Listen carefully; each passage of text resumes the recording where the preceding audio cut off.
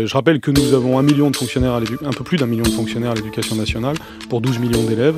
Donc le sujet n'est pas d'avoir plus ou moins 1800 euh, postes. Le sujet, c'est ce que nous faisons qualitativement avec les moyens supplémentaires Sur que les nous avons. 1800 suppressions de postes, combien dans l'administratif et combien dans les enseignants du Alors, secondaire? c'est des choses qui vont, que j'aurai à préciser d'ici à la fin de, de la semaine, mais il y a au moins 400 postes administratifs euh, en moins et probablement euh, davantage. Cette annonce, elle va complètement à l'envers de ce que nous on attend. On ne peut pas faire porter euh, ce poids-là au secondaire. Ça ne va vraiment pas dans les besoins actuels. C'est catastrophique.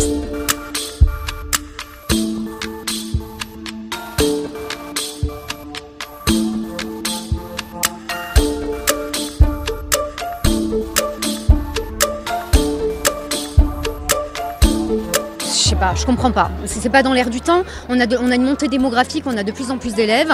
Euh, il y a de plus en plus de souffrance au travail. Supprimer du personnel en plus, ça ne va vraiment pas dans les besoins actuels. C'est voilà, c'est catastrophique. Ça va pas. On a un problème matériel, euh, informatique, de salle, mais aussi on a aussi un problème humain.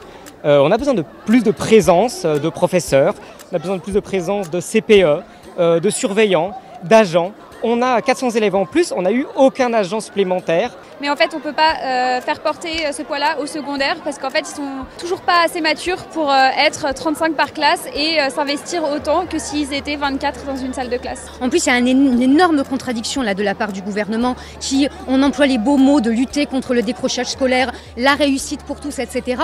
Et en même temps, on supprime des postes. Mais des élèves qui sont dans des classes surchargées se démotivent beaucoup plus facilement, n'ont pas de suivi individuel. Et là, on fait tout pour le décrochage scolaire. Le syndicat SNES-FSU a déjà réagi cette nuit en disant que les résultats, ce sera moins de profs et plus d'élèves par classe, les lycées et les collèges. Combien d'élèves en plus par classe à l'issue de Non, cette aucun. Le- le- nous maintenons totalement les taux d'encadrement dans le second degré, puisque avec cet argent, nous créons aussi plus d'heures supplémentaires. Donc ça fait partie des éléments qui vont nourrir euh, le, le- le pouvoir d'achat des professeurs. C'est énormément de travail aussi à la maison qui se rajoute, qui vient se rajouter. C'est pas juste une heure supplémentaire comme ça.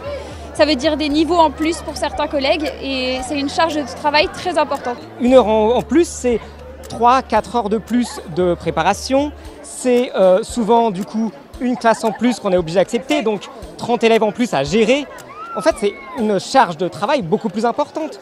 Nous, nous, on travaille nos cours, on travaille énormément euh, pour, pour- pour nos élèves. On a envie de les accueillir dans des bonnes conditions. On n'a pas envie d'être épuisé toute la semaine pour faire cours dans des conditions complètement euh, impossibles.